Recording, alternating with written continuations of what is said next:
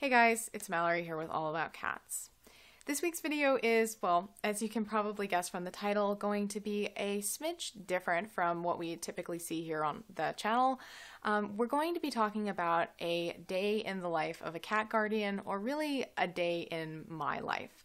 I'm going to be walking you through all of the things that I'll do in a typical day with my two cats, Wesley and Forrest, and I'm also going to be mixing in some insights into what my life is like as a cat YouTuber and uh, working with All About Cats on content and all of the different things that All About Cats puts out on the website, the YouTube channel, and our other projects around the web. So, I hope that you find this video interesting. Let's jump into it. So I'll typically get up somewhere between 5 and 6:30 in the morning, sometimes a bit later, pretty flexible. And generally, my cats are still snoozing or asleep at that time. My cats don't really get up before I do. Sometimes they will, um, but because I tend to wake up fairly early, we generally kind of get up around the same time.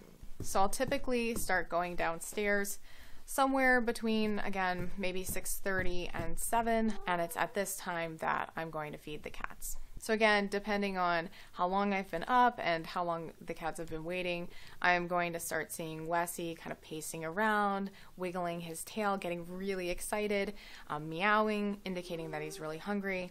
Forrest doesn't really have the same routine. She'll typically not really uh, come out until she hears me open the closet door, indicating that I'm ready to feed her.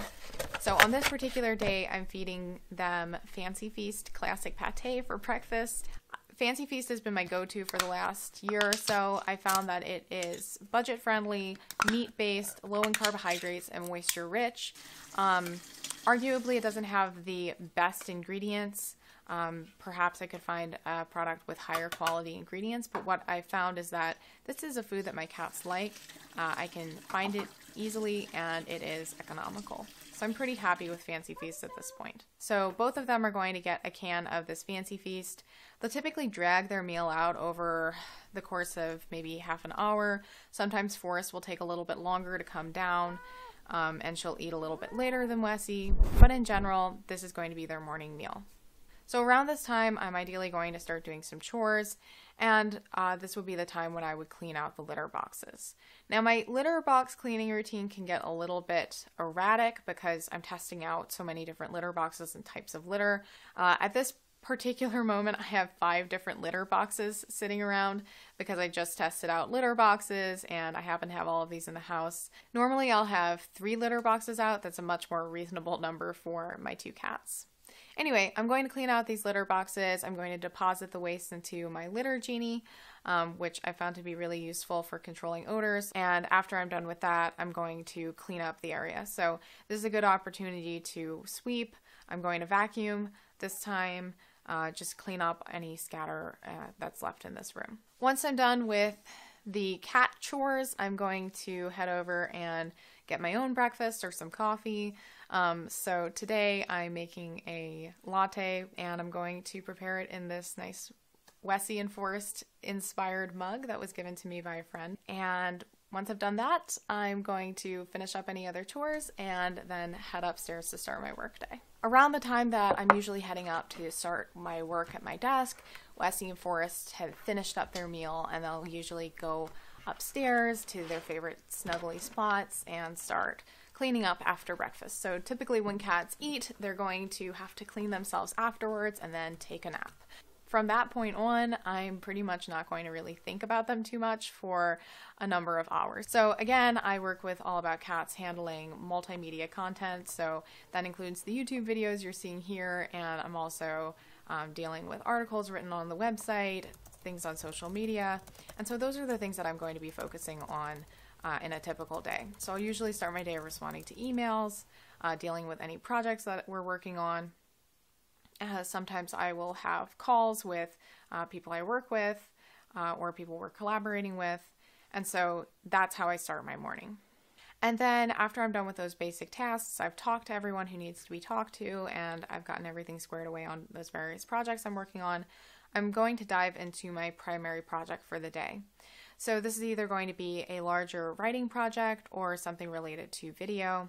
Some days I will be recording B roll, and at this time, Wessie will usually get involved. He'll come downstairs and look at the products, maybe test them out if necessary. And I'll often do a little bit of training with him at that time. So I will reinforce commands like sit, um, high five, shake paws, um, and give him a couple of treats during that time.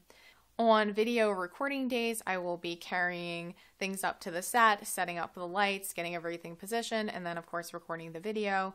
And then video editing days are usually a full day of editing. So I'll just be sitting there editing away uh, until the video is done.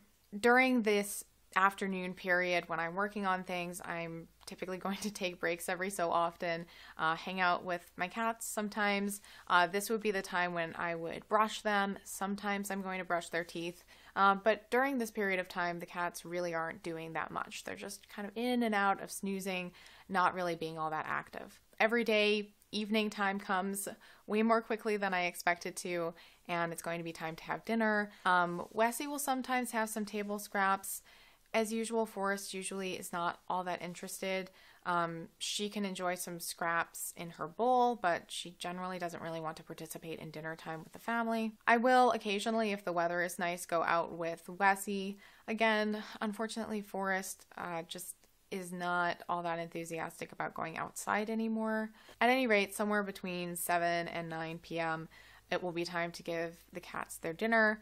Again, I'm going to be feeding them a couple cans of Fancy Feast pate. And then after dinner, again, the routine repeats and the cats groom themselves and kind of go to bed, so to speak. So somewhere between 9 and 11:30, we're all going to be going to sleep and that's about it. Another day is done and uh, it all starts again tomorrow. So I hope that you found this video interesting and that it gave you a kind of new perspective on what another cat guardian's life might look like or what your life might look a bit like if you do adopt a cat. And I also hope that you found it interesting to see what my life is like working on these YouTube videos and testing all of these products. It's been a really interesting experience for me, and I hope that this video gave you a little bit of a sense of how um, working in this area changes the way that cat guardianship looks. Um, it's really colored my experience of my cats. Um, and I'm grateful that it's given me the opportunity to work with them more closely. Um, you know, getting these videos and doing some of the training and making sure that they're there for photos. All of these things have uh, really added to my experience of having cats and kind of brought me closer with them. So, thank you so much for watching this video. I would love to hear about your daily routine with your cats, so please let me know about it in the comments. Another part of my daily routine that I didn't mention is responding to your comments. So, of course, I will be reading all of them and responding um, to any questions. Again, thank you so much for watching. If you're interested in more information on all things cats, including uh, informative videos like this one, as well as product reviews and buyer's guides, please subscribe to the All About Cats channel. We release new videos every week, and I would love to see you become a part of our community here. So thank you so much, and I'll see you next week. Bye.